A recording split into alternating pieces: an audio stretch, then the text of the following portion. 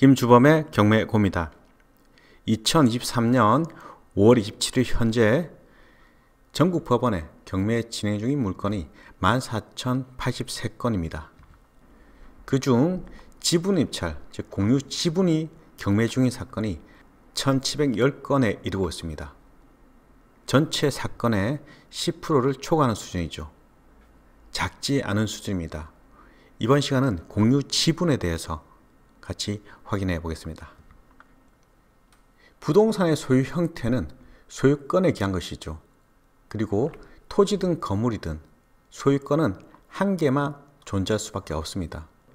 이걸 두고 일물일권주의라는 표현을 쓰는 것이죠.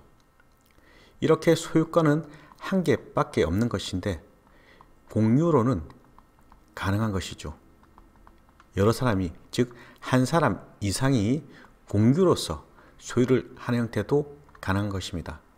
예컨대 A, B, C라는 사람이 있습니다. 이 자들이 공유 형태로 부동산을 소유하는 경우가 있는 것이죠. 취득의 형태는 다양합니다. 부동산을 3명에서 공동으로 사기로 했다.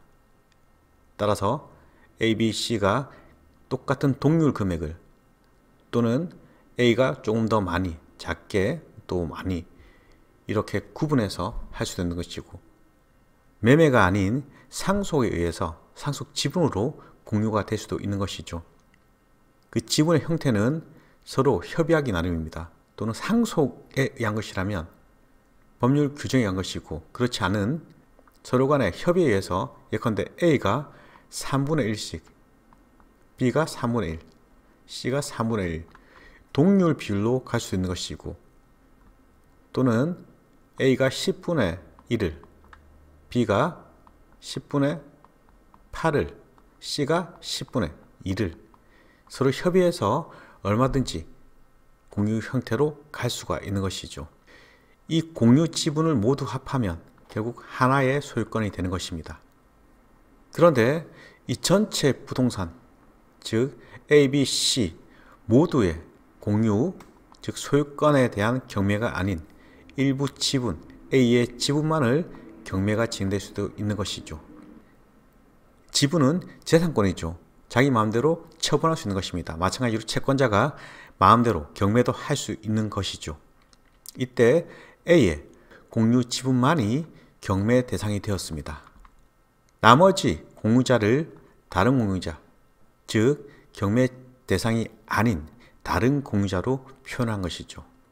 이 부동산을 처음 소유 형태가 공유였다면 기존에 있던 공유자들이 이 부동산을 관리하기가 더 수월할 것이고 제3자가 다시 나와서 이 부동산을 공유로 참여한다면 부동산을 관리하기가 쉽지 않겠죠. 따라서 기존 공유자에게 공유자 우선 매수 청구권의 기회를 법률상 두고 있는 것입니다.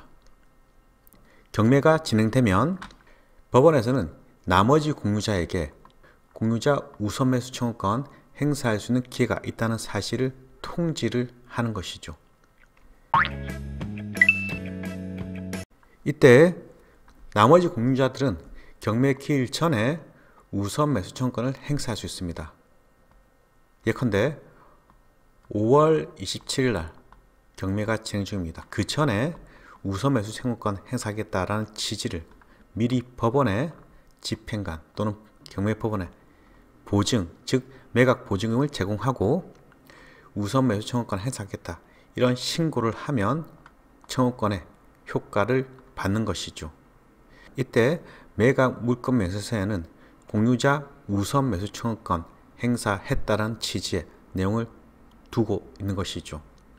이 공유자들이 미리 신청 안 하고 매수 경쟁, 즉 매각기일 5월 27일 날 1차든 2차든 그 해당되는 회차에 법원에 와서 누군가 입찰을 합니다. 그때 매각을 종료하기 전에 공유자가 우선 매수 청구하겠다라고 요청하면 낙찰받은 이자의 지위를 그대로 땡겨옵니다. 결국 최고가 매수인이 있다 해도 그자의 지위를 우선 매수 청구권 행사하는 공유자에게 넘겨주는 결과가 되는 것이죠.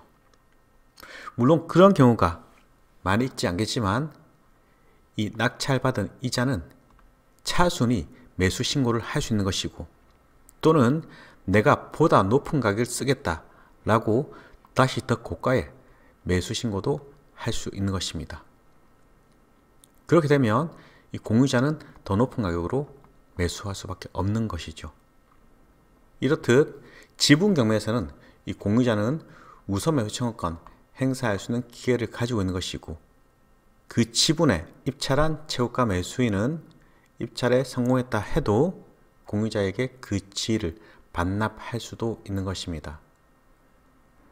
따라서 공유 지분에 매수 신고를 하는 경우도 적잖이 볼 수 있습니다.